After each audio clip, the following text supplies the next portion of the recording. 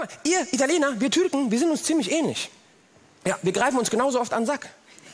Nur anders. Ja? Die Türken nehmen den Schaufelgriff. Ja? Schaufelgriff ist einfach simuliert, da ist viel. Auch wenn da nichts ist, da ist viel. Das ist Schaufelgriff. Italiener greifen sich genauso oft an den Sack, aber ihr zieht immer dran. Porca Madonna. Ihr Deutschen greift euch auch an den Sack. Ihr braucht gar nicht so zu lachen. Aber so ganz klischeehaft organisiert, ne? Da kommt, da kommt die deutsche Gründlichkeit immer so, ja, da muss man hier, da, so, man, da, so.